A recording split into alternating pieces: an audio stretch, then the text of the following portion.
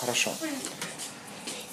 У нас сегодня такая тема очень простая, очень-очень простая, но с нее, с нее нач, начинает что-то особенное. И эта тема называется «Тело Иисуса».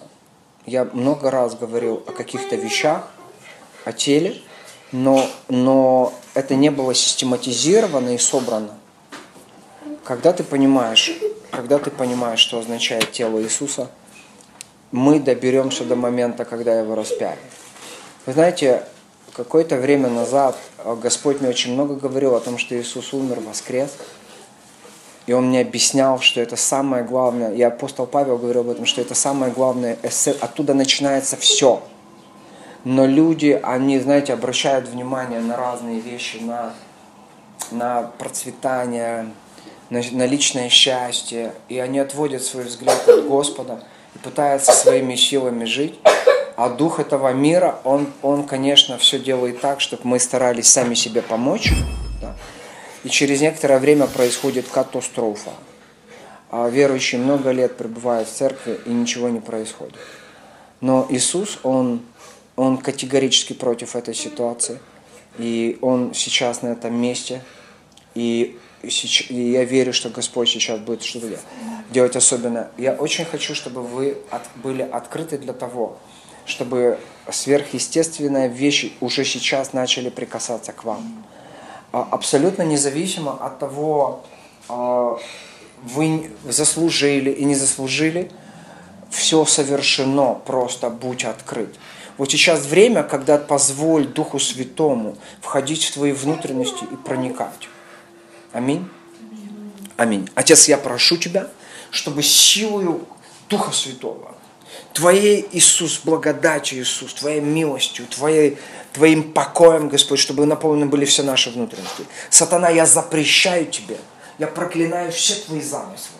Я говорю, Господь, все, что Тебе, Иисус, принадлежит, никто не может отнять, никто не может разорвать, никто не может разлучить. Все соединено, все благословлено и поставлена печать благословения Твоей Божьей любви. Аминь.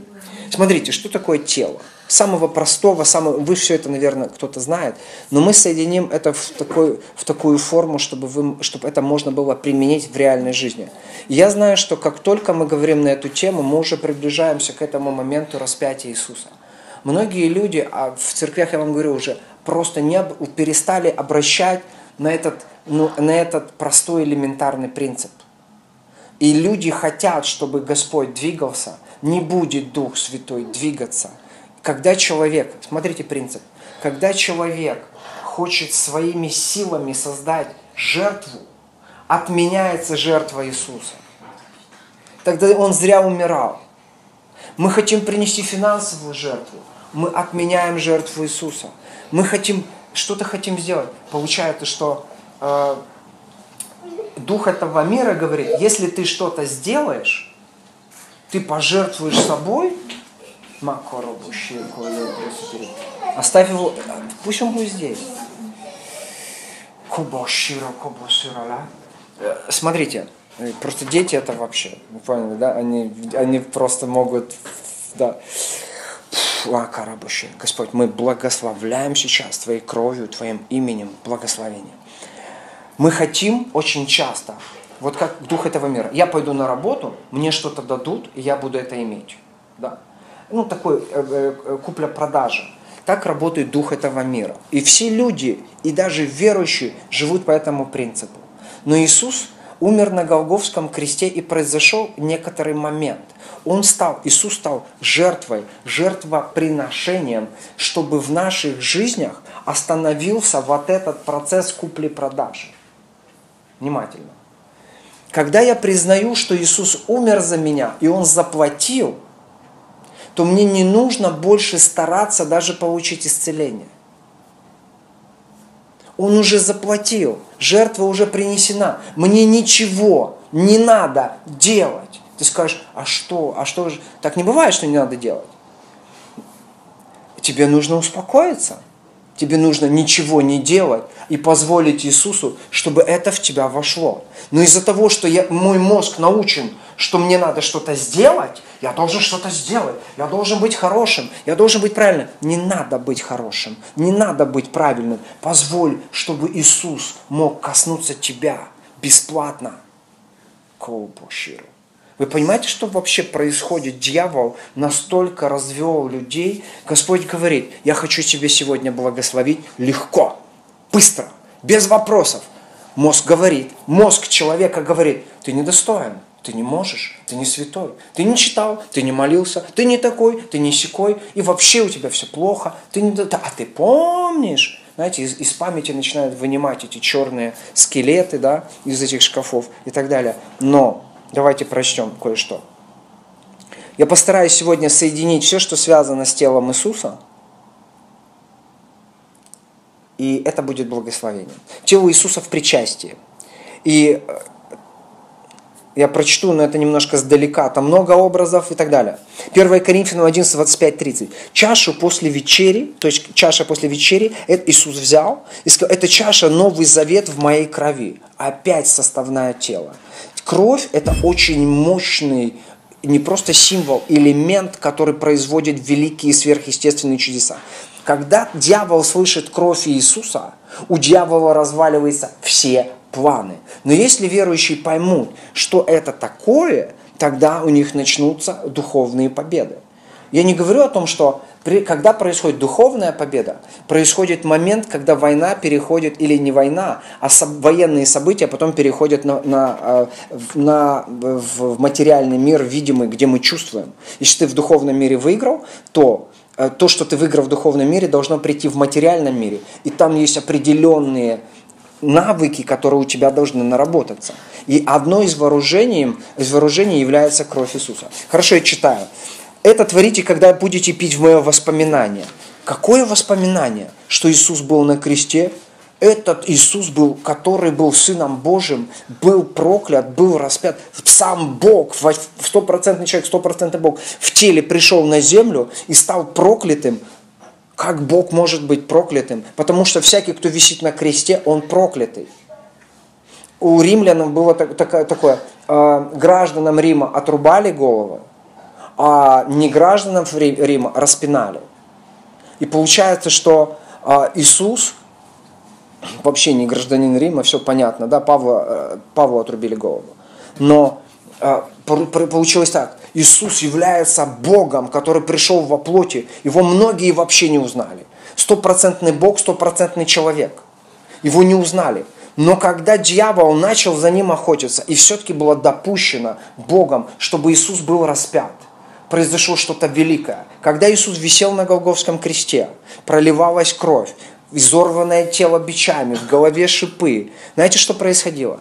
Тело Иисуса, оно, оно, оно страдало по максимуму. И если ты скажешь любое проклятие, которое есть сегодня в жизни человека, оно было на теле Иисуса.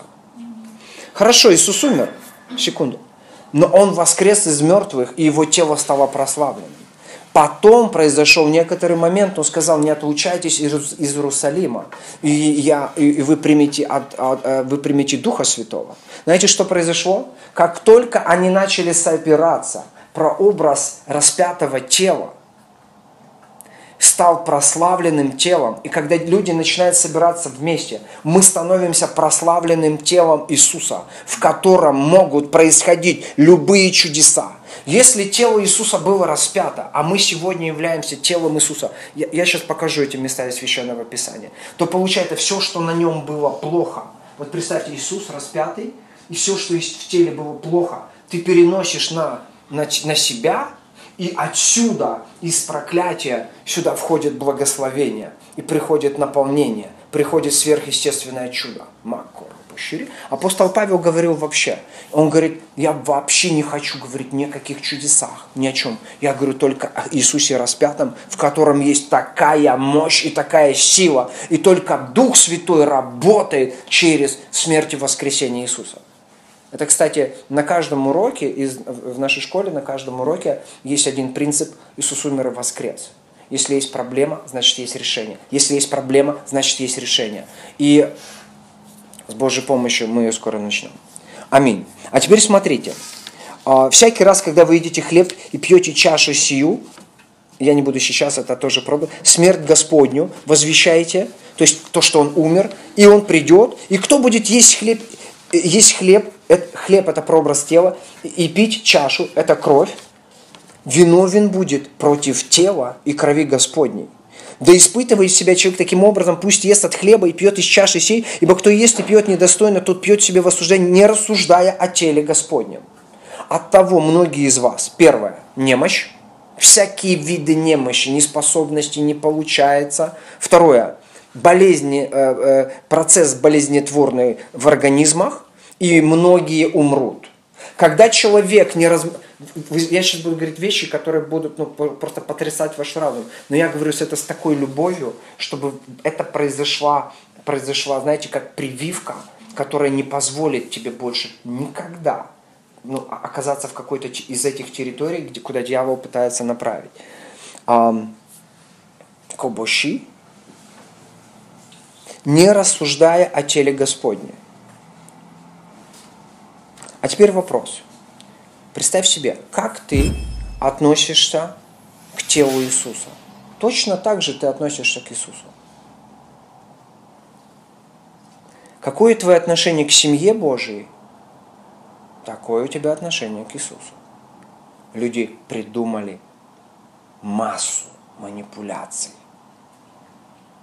И когда они что-то делают и не размышляют о теле Божьем, могут произойти очень неприятные события. Все учения, все знания, все хорошести людей, они должны быть сложены перед ногами Иисуса и подчинены Ему.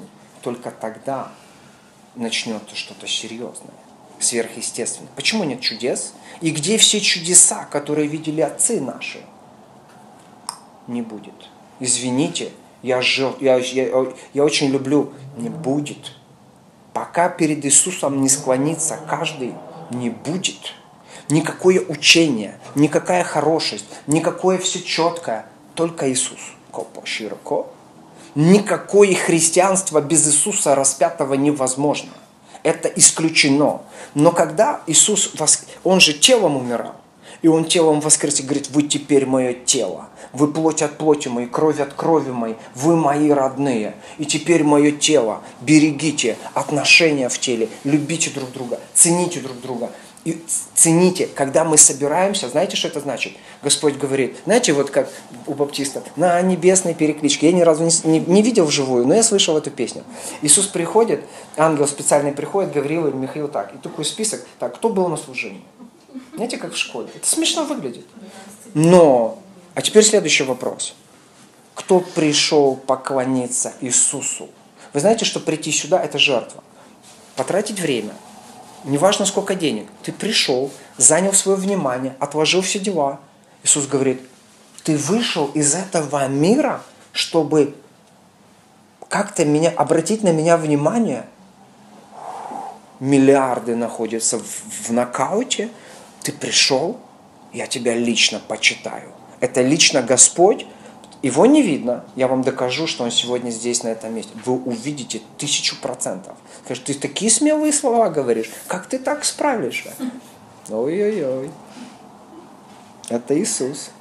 Представь себе такой вопрос. Ты пришел на небо, Иисус тебя спросит, друг, ты помнишь, моему слуге было трудно? Моему слуге было трудно. Где ты был? Он просил тебя помочь. Он, не, он просто попросил. А где ты был? Вы понимаете, этот вопрос, может быть, звучит уже сегодня. Иисус говорит, как ты относишься к моему телу? Ну, насколько ты осторожен? Ты хочешь исцелиться? Не вопрос. Уважайте. Цени, что ты в теле. Кто-то говорит, вы платите аренду, зачем вам это надо, это сложно. Будем платить, сколько надо, до упора. Потому что, когда мы здесь собираемся, Иисус приходит, мы платим цену. Не потому, что это жертва, а потому что эти деньги это мусор, это ничто, это вообще ничего, вообще ничего не значит. Знаешь, знаете, я что-то хочу, кто-то еще хочет, кто-то еще, мы все что-то хотим. Но мы все приходим к такому моменту. Пока мы не сфокусируемся на Иисусе, это нас отвлекать будет. И будет приходить неприятные страдальные ощущения. Когда ты любишь Иисуса, все тебе содействует на пользу. Первое, чтобы выигрывать, прошлая тема была, надо любить Иисуса. Чтобы выиграть, нужно любить Иисуса. Чтобы хорошо жить, нужно тоже любить Иисуса. Не заставлять себя любить. Хорошо, идем дальше. Вы знаете, еще один такой момент. Иисус видит и слышит все намерения и помышления сердца человека. Мы с кем-то разговариваем, мы с кем-то общаемся. Он все видит, не я. Иисус все видит. Иисус все слышит. Знаете, я сделал такое упражнение, когда с людьми общаюсь, я всегда говорю, между тобой и мной Иисус. И знаете, что происходит? Иисус говорит, я вынужден быть в этой ситуации. И когда люди что-то говорят, что-то делают, они либо себе сами приговор подписывают, либо они послушны Богу, смиряются, каются и позволяют Духу Святому действовать, ну, что, чтобы что-то происходило от Бога.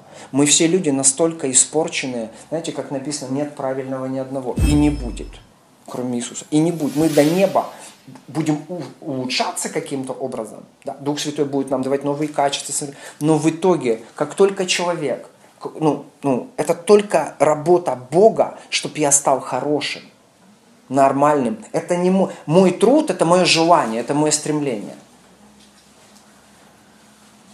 Это не психология. Тут с психологией вообще ничего не связано. С душевными науками ничего не связано вообще. Хумаши Карадосо. Хорошо, давайте одно место из Священного Писания.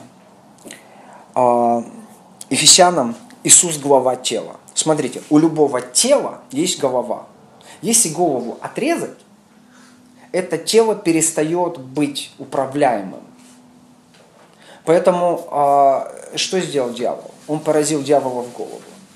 И мы должны продолжать это делать, поражать дьявола в голову. Смотрите, безмерно величие могущества его в нас, Отца, верующих по действию державной силою Его, то есть Иисуса, которую Отец воздействовал во Христе, воскресил Его из мертвых, посадил одесную себя на небесах, превыше всякого начальства, власти, силы, господства, всякого имени, именуемого не только в этом веке, но и в будущем, и все покорил под ноги Иисуса, поставил Иисуса Христа выше всего главою церкви, которая есть тело Его, полнота, наполняющая все во всем хумак еще, все начальства духовные власти, которые когда-либо появятся, Иисус выше и больше. И вдруг мы оказываемся перед решением какого-то вопроса. И нам мир говорит, ты должен сделать так, ты должен сделать так. Иисус говорит, подними глаза, посмотри на высоту, посмотри вверх. Я ответ на твой вопрос. Нехорошая работа. Вы знаете, я знаю много всяких таких ходов я понимаю, знаете, с чем я борюсь? Я борюсь с собой, чтобы я не продал себя. Просто не продал за хорошую работу. Вот я борюсь за это, чтобы я не продался. Вы знаете, э, ну ладно, это, это чисто мое, это, это мое личное, это вас не касается. Это только меня. Хорошо. А теперь смотрите, в теле происходят разные процессы. И в теле существуют разные способности и возможности. Допустим, я оказался в теле. Что я с этого имею? Очень много. Читаем. Одних Бог поставил, Бог, Бог поставил в церкви, в теле. А, так, сейчас, секундочку. Так. Смотрите, я сейчас прочту. 1 Коринфянам 12, 4, 11. Так, теле. Секундочку. Так. Там есть такое место. А, дух один и тот же, служение различные. Господь один и тот же, действия различные. Бог один и тот же, производящий все во всем, и дается каждому произвеление на пользу. А теперь посмотрите, знаете, что я еще обнаружил? Я обнаружил, что в церкви работает вся Троица. Первое. Дух, Дух Святой, Господь, Иисус и Бог Отец. Один. Один Дух, один Господь и один Бог, производящий все во всем. Духа. Одному дается Духом слово мудрости. Подождите, слово мудрости Ты берешь или не берешь? Одному дается. У тебя есть слово мудрости? Ты можешь взять прямо сейчас. Другому слово знания. Ты хочешь получить слово? Я вам говорю, что работа в дарах Духа Святого это не так просто. Но если ты ничего не знаешь, но когда ты наставлен, у тебя есть основания, это просто. Следующее, тем же духом, иному вера. Подождите, что такое вера? Я могу доверять Иисусу, я могу видеть образы проявленного благословения, и я знаю, как поступать, чтобы это пришло в мою жизнь. Тем же духом. Иному дары исцелений. Опаньки, исцелять людей интересно – я прямо сейчас говорю, что помазание исцеления, оно работает сейчас, ангелы исцеления сейчас работают. И даже без твоего спроса они прикасаются к тебе и благословляют тебя. Тем же духом, иному чудотворение. Опа-на. Чудотворение, исцеление, чудотворение. Что такое чудотворение? Исцеление имеет процесс э, какой-то растянутый во времени. А чудо – это мгновенное проявление. Тотчас, хоп, дальше – иному пророчеству, другому развлечение духов, иному различные языки, э, иному истолкование языков. И все это производит один и тот же дух. И происходит что? В теле, в теле Иисуса, ну ты в теле, он говорит, я готов тебя одарить, я готов тебя щедро наградить. Не слышно. Иисус говорит, я готов тебя щедро наградить щедро благословить. Один и тот же Дух, разделяя каждому особо, как ему угодно. Господь, Макоробушири. А, смотрите такой момент. Богом благословения. А, смотрите, какой момент. Иисус не советуется с тобой и мной. Он просто решает, как для тебя лучше, как ему угодно. Господь, Он говорит, ты хочешь, ты жаждешь, ты ревнуешь? Я хочу, Господь, я очень хочу. Он говорит, будет у тебя. Аминь. Как ему угодно. Одно тело имеет многие члены, части, члены одного тела, хотя их много составляет одно тело, так и Христос. Ибо мы все одним духом крестились в одно тело. Что такое крещение? Это я посвящаю, внимание, я посвящаю себя, что я в этом теле, часть тела. Если я не думаю так, если я не размышляю, что я часть тела, Вася, жизнь будет выглядеть странным образом. Многие верующие, они не понимают, в каком они теле. Они выдумывают, фантазируют, ищут, планируют, ходят куда-то. Господь говорит, я уже здесь. Я тебя, я тебе говорю, будь здесь. Ты мое тело. Я тебя благословляю. Я тебя люблю. У тебя есть условия? Посмотри на крест. Все твои условия должны рассыпаться, как прах. Никаких условий. Перед Иисусом только преклонись, и так и тогда жизнь пойдет. Все остальное будет борьба. Знаете, как у Адольфа Гитлера книжка «Май кампф», «Моя борьба». Это у него борьба, пусть борется. А я не хочу бороться победа одержана. Я просто говорю, Господь, победитель в моей жизни. И я провозглашаю славу Иисуса. Иисус воскрес из мертвых, Он умер за меня, и я в Его теле верный, надежный человек, верный, надежный сосуд, верный, надежный часть тела Иисуса. Пусть я буду, ну, у меня не все там, да, но я буду Ему верным, до сколько надо. Хомаши коро. Хорошо, идем дальше все, мы крестились в одной посвященной. Иудеи, Илины, рабы, э, иудеи, иудеи э, эти, Рим, эти, эти греки, рабы свободные, напоены, напоены одним духом. Тело же не из одного, а из многих частей. Там такой, апостол Павел говорит такую смешную аллегорию, ну такое у него юмор бывает. Если нога, нога скажет, знаете, нога такая с ртом, говорит, нога говорит, нога говорит, «А, я не принадлежу телу, потому что я рука она нога, но она не понимает, нога не понимает, что она, нога думает, что она рука. И у нее вообще начинается у этой ноги вообще прикол. Она говорит, что я не тело.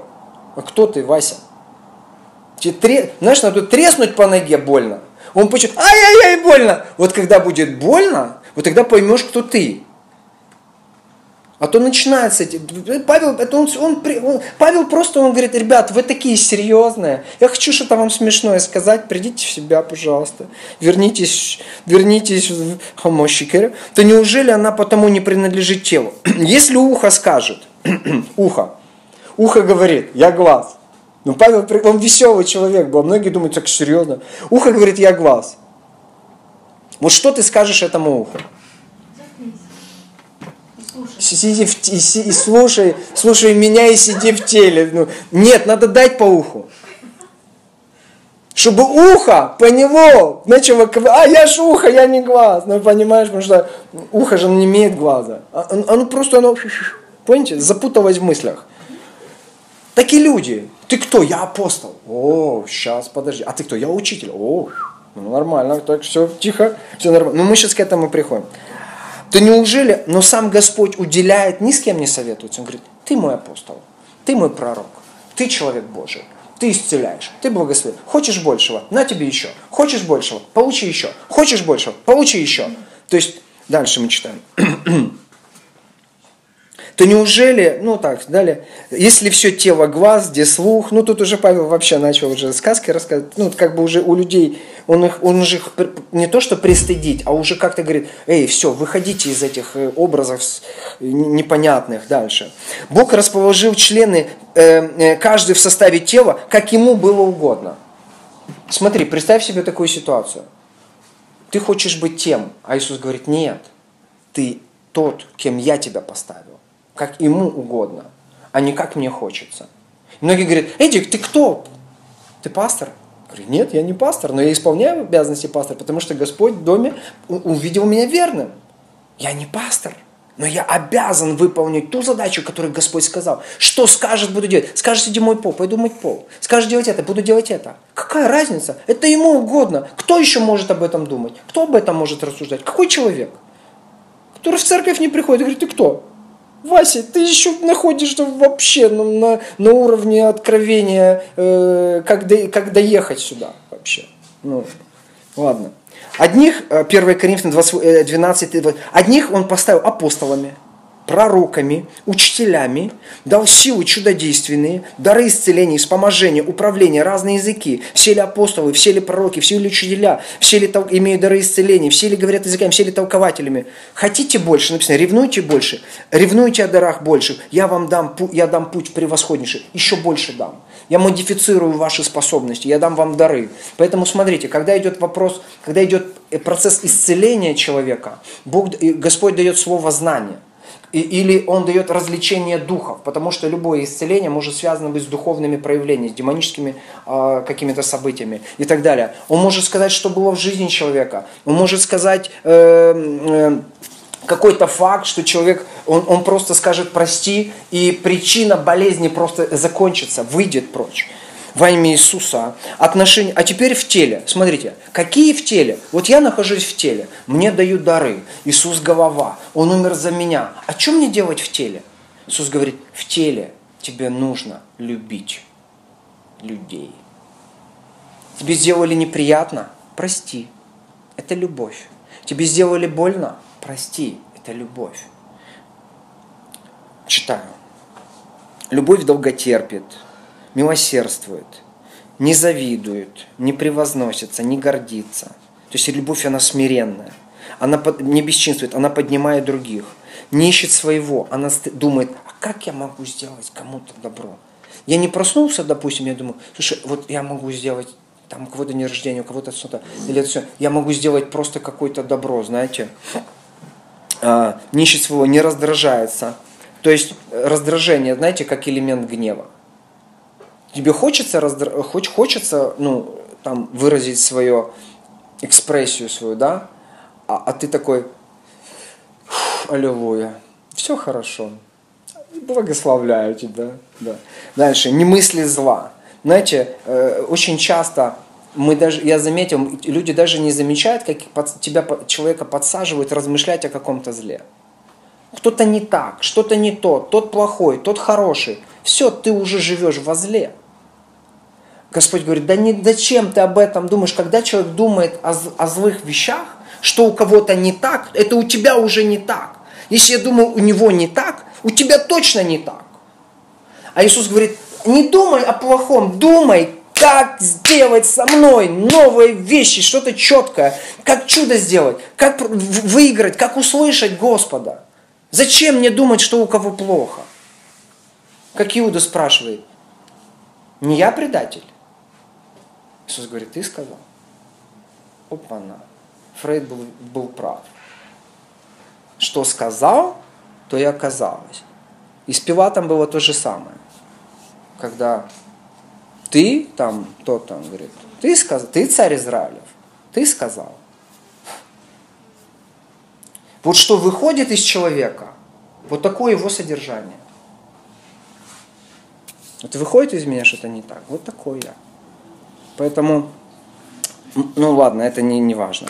Так, любовь никогда не перестает, все переносит, всего надеется, все покрывает, радуется истине. Знаете, что там написано, всему верит? Нет, верит только вещам, которые от Бога. Она верит всему, что от Бога. Любовь верит всему, что от Бога. Они знаешь, верующего разводят. Вася, дай денег, я тебе верну. Конечно, расскажи мне. Вернешь. Дальше. Любовь никогда не перестает, все пророчества закончатся, все закончится, умокнут, но останется Божья любовь. Со всяким Ефесянам 4.2.5 мы уже заканчиваем с мирномудрием, кротостью, долготерпением, снисходя друг к другу с любовью, старайся сохранять единство Духа в союзе мира, одно тело, один Дух. И как вы признаны в надежде одного, одного призвания, один Господь, одна вера, одно крещение, то есть одно посвящение. Снисходя. Знаете, что такое снисходя друг к другу? Если я вижу, что кто-то не прав, я не буду ему доказывать, что он не прав. Я просто опущусь чуть ниже. Ну, я не смирюсь, я опущусь чуть ниже, но попробую ему, но попробую ему, ну, это, этот метод, кстати, срабатывает, но попробую ему аккуратно объяснить не с высоты, а как-то с его уровня, с отношением любви. Ну, разные случаи бывают, но это получается. Я говорю про, если у тебя есть вера в Бога, значит Бог тебе помогает. Хорошо, идем дальше. И еще по поводу так, так, так, так, так, так, так. Бог соразмерил тело, внушив о менее совершенном большее попечение, для того, чтобы не было разделения в теле. Опаньки, что в теле может быть разделение. Бывают. Знаете, вот люди думают, я крутой, а ты маленький и несовершенный. Тебя должны обнять вот так вот и позаботиться о тебе, чтобы ты не выпал в осадок. А менее о крутых, но кто думает, что он крутой. Чтобы этот человек потом, ну, то есть мы в теле должны чувствовать людей и быстро им помогать. Если он гонит, возгордился, надо говорить, Вася, ты гордый, пошел вон отсюда, Бог гордый противится. Нет. Надо найти вот этот дух премудрости. Аккуратненько, как поговорить, как это самое, с какой стороны зайти. Подружиться. И Дух Святой сработает в нужный момент, если ты захочешь. Но в теле, понимаете, все органы, мы не сходим друг к другу. Мы опускаемся. Видишь, что у кого-то ничего, что-то не так. Можно сказать, да ты такой, я лучше тебя. Так не получится. Знаете, представьте, вы тело, и какой-то орган сегодня не очень хорошо ну, функционирует. И все тело говорит, да поем, у нас все хорошо, у тебя плохо, да, ну так и сиди там. Так все тело через некоторое время начнет хандрить и ковбасить, и температура поднимется, всем плохо будет. Поэтому а, мы, мы не сходим, если что-то с кем-то происходит, главная задача опустись на уровень этого человека и будь будь благословением для него. Пусть через тебя идет сила исцеления, сила любви, сила благословения. Аминь. Вы тело Христа. Посему страдает ли один член, страдают все члены. Славится ли один, с ним радуются все. Вы тело Христова, а порознь мы части Бога. Мы части Его. Порознь мы не можем быть, мы в теле, но если нас начнет ну, хирургически разбирать, мы как будто части. Да? Хорошо. Все члены одинаково заботились друг о друге. Да. Крест и тело Иисуса. Я хочу вам сказать одну важную истину, которая она, нач... она переворачивает с сегодняшнего дня. Можете отметить эту дату. Ай, хамашикара. Вы знаете, э, самое, э, это представить распятие Иисуса обычному мозгу невозможно. Потому что то, что было с Иисусом, а, а, ну, ну, люди могут представить какой-то, знаете, э, в фильме «Страсти Христову» запомнить какой-то образ. Но смоделировать мозг, изуродованное тело до такой степени, с вытекающим по максимуму кровью, это вообще мозг, он просто... Знаете, когда тебе больно, ты сразу думаешь, ай, мне больно, мне больно. Когда кому-то больно, а если у тебя кусок вот такая большая, ну не дай бог, какая-то большая крупная там травма, да, еще страшнее. И ты смотришь, а, все, весь организм фокусируется на эту часть. Но когда ты видишь, что у кого-то с кем-то происходит, ну как-то ты, ну, ну как-то ты отдаляешься, абстрагируешься, чтобы, ну как бы это, чтобы с тобой не было. И смотришь как-то со стороны. Поэтому мозг, он не может смоделировать, что ты весь изрубленный, израненный, исколотый, искалеченный. Он не может это представить. Он не, э, он не должен это представлять. Но нам это надо делать, потому что в этом образе происходят все чудеса. Все виды чудес и сил Духа Божьего происходят только через распятие Иисуса. Это, это я, я говорю, что это, это та составная для чудотворения, которую Господь дал. Я Анжеле показывал пять пунктов. Я их соединил. Господь мне дал соединение. Гениально, я тебе говорю, гениально. Оно легко, оно вот так входит, как механизм, вообще работает сильно. О, Иисус, хорошо. Христос послал меня так, э, так, слово о кресте для погибающих безумия, для нас спасаемых сила Божья. Мы проповедуем Христа распятого, для иудеев соблазн, для греков безумие, для нас призванных иудеев и эллинов Христа, Божью силу, Божью премудрость. И Господь и э, Павел опять напоминает, опять это очень много Павел говорит, напоминаю вам, братья Евангелия, которые вам благовествовал, которым мы утвердились, которым спасаетесь. Если припорно удерживаете, как я благовествовал вам, первое – помазанный Господь Иисус умер за грехи на основании Священного Писания. Иисус умер, стал жертвоприношением, чтобы ты, это потом, он был похоронен, была поставлена точка, тело сто процентов определено мертвым, оно было закрыто камнем. Иисус, Бог во плоти, стопроцентный Бог и стопроцентный человек, его тело закрыли в, в пещеру, в гроб, положили большой камень, поставили охрану. И Иисус на третий день воскрес на основании пророческого писания из мертвых. Знаете, что это значит? Изменены матрица остановлена изменены все механизмы духов этого мира. И наступила эпоха Царства Божьего. И если дети Божьи смогут услышать принципы Царства Божьего, о которых говорил и учит Иисус, и, и, и Духом Святым апостол Павел, Мако Божье, какая же она церковь красивая, а? Вы представьте себе, распятый Иисус, его тело, а тут церковь, его тело. И когда в теле что-то не так – церковь со смирением преклоняется перед образом Иисуса распятого, и исцеление из его тела входит в это тело и совершает любые чудеса, потому что эта церковь становится сверхъестественной тысячу процентов каждый день. Вы знаете, что сегодня происходит? Сегодня Господь смотрит на каждого из вас, как на тело. Ты сам внутри себя принимаешь решение ты тело. Я вообще не говорю, э, э, я умоляю вас, я прошу вас об одном, чтобы это не мое дело, что вы, какое решение вы принимаете. Но я, я, я не говорю, что вы приходите сюда или вы приходите в другое место. Определись, ты с Иисусом в теле. Это должно быть посвящение. Крещение это посвящение. Знаешь, какое крещение? Крещение я утонул для себя, и я теперь посвящен как мама, она посвящена ребенку навсегда. Это неразрывно. Это погружение полностью в судьбу этого человека. И Господь говорит, что мы должны погрузиться в это тело. Иначе все, что вокруг нас, оно будет находиться под атаками. И нужно будет с этим бороться. А теперь я хочу вам сказать такую вещь. Вы помните я, я, я смотрел такой сериал «Божьи генералы», там Роберта Леардона и так далее, там разные верующие, как они прожили жизнь, очень, которые чудеса исцеляли, там по 20, по 3 человека, там Смит Вигварфа, там 50 человек воскресил из мертвых реально. И эти люди, их не ошибки, что с ними происходило и так далее. Я, я в группу скинул эту ссылку на, на этот плейлист. Но я сегодня говорю такой момент. Знаете, мне Господь показал такой образ, э, знаете, как команда мечты.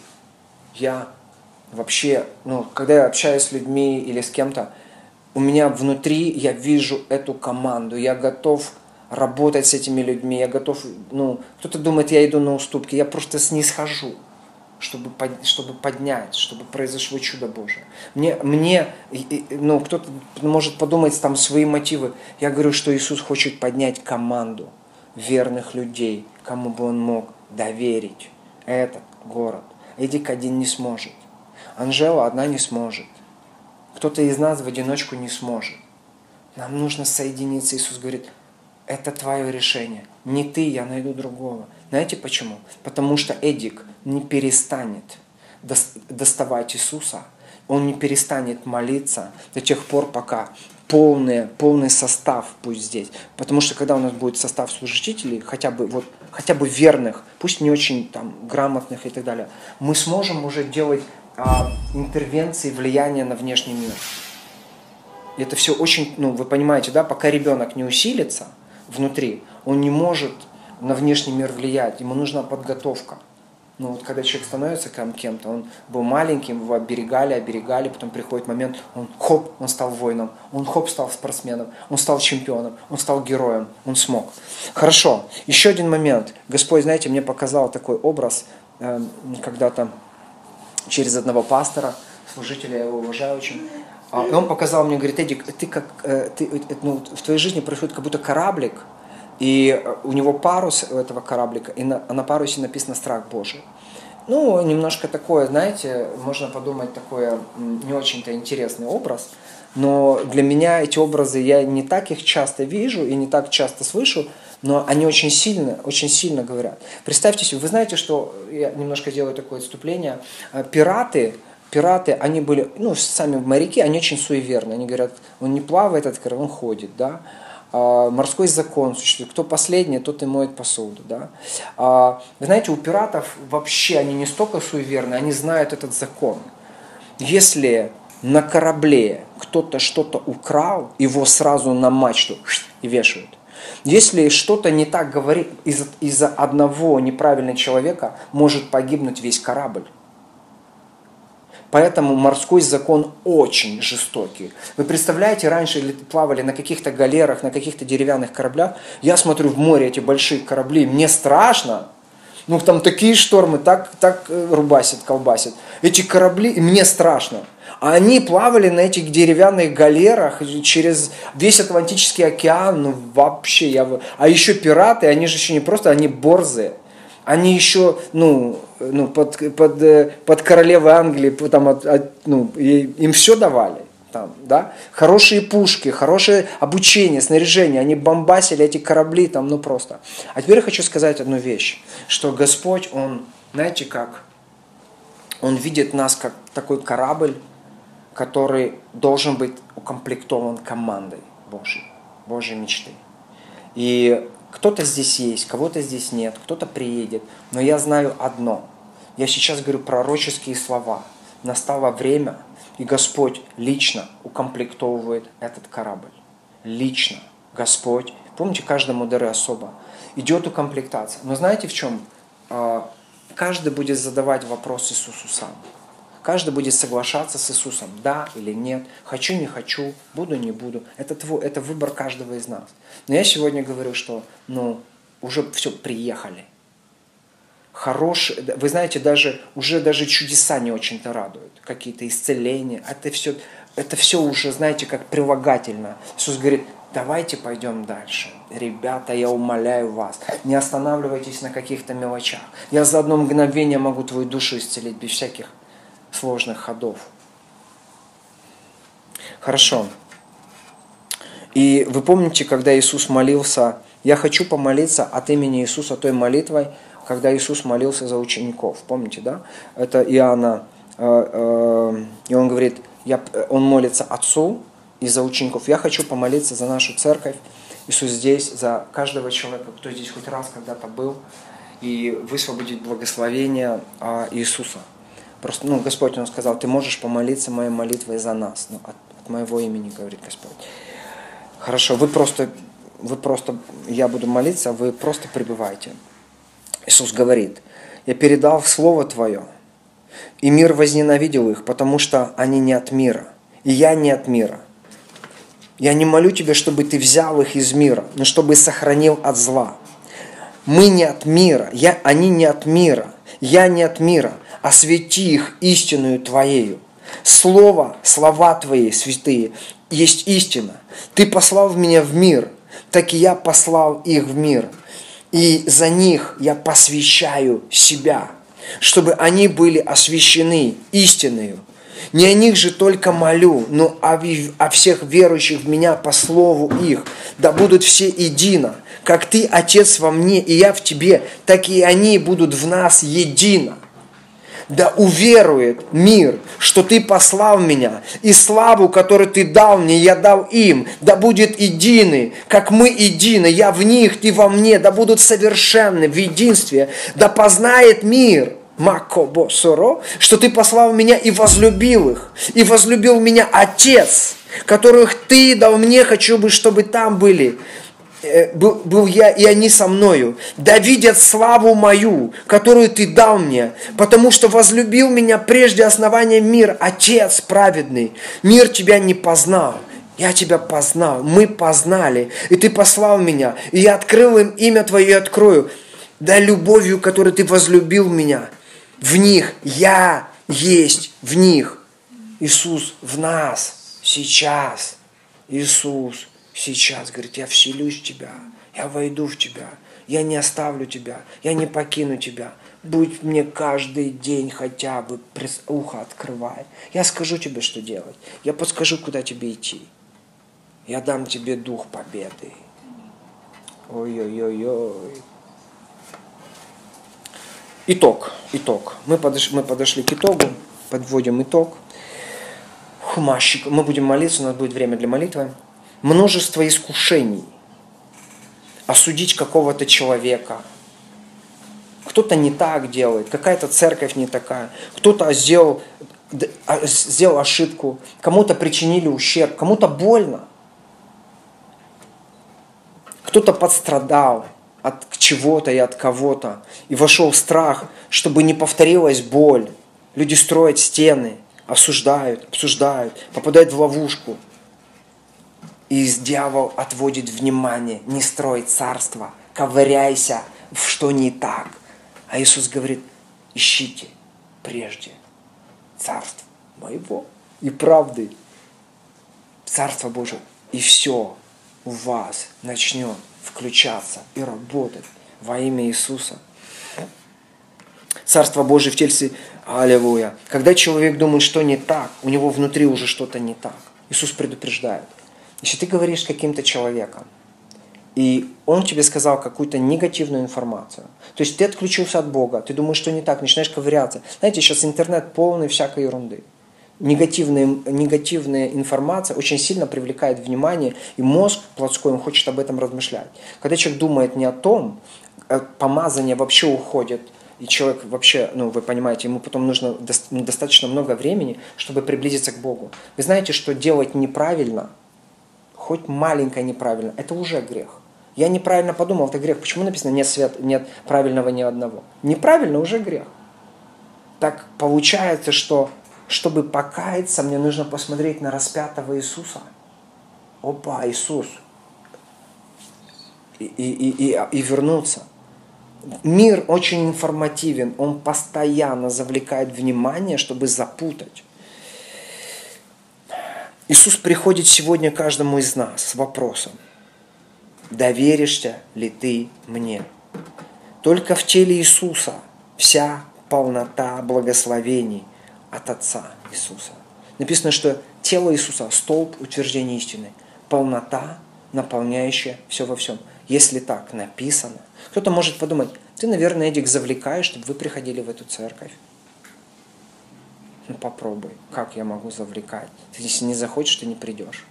Я работаю на всех. Вы находитесь в тех церквях, где вы есть, где, вам, где Господь вам указывает. Но вы должны быть в том теле, частью тела, посвященной частью тела.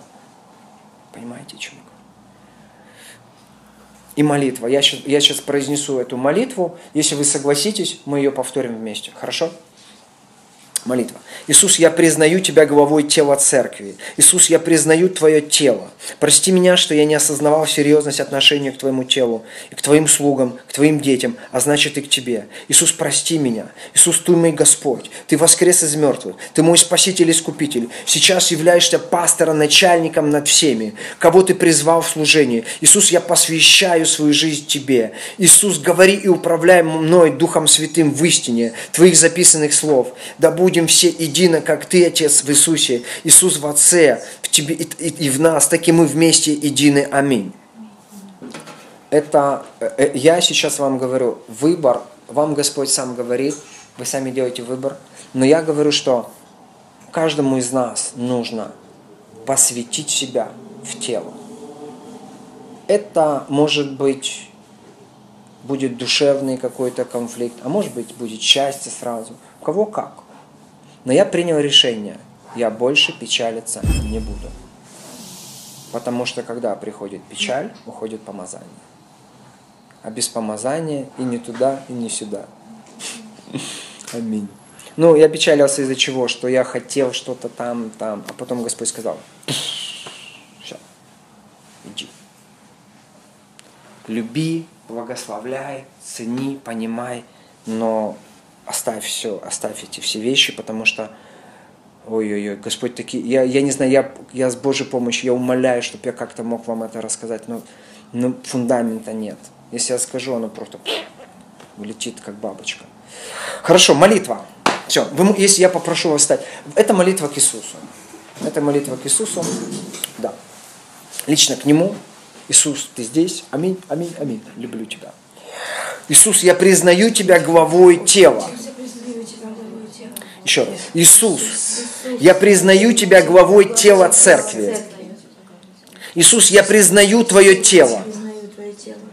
Прости меня, что я не осознавал серьезность отношения к Твоему телу, к Твоим слугам, к Твоим детям, а значит и к Тебе. Иисус, прости меня. Иисус, Ты мой Господь. Ты воскрес из мертвых. Ты мой спаситель и искупитель. Сейчас являешься пастором, начальником над всеми, кого ты поставил в служение и призвал. Иисус, я посвящаю свою жизнь Тебе. Говори и управляй мной Духом Святым в истине, Твоих записанных слов. Да будем все едино, как Ты, Отец в Иисусе, Иисус в Отце, я в тебе, так и мы вместе едины. Во имя Господа нашего Иисуса Христа. Аминь. О, аллилуйя. Иисус. Благодать Господа нашего Иисуса Христа. Любовь Бога Отца и общение Святого Духа со всеми нами. Аминь.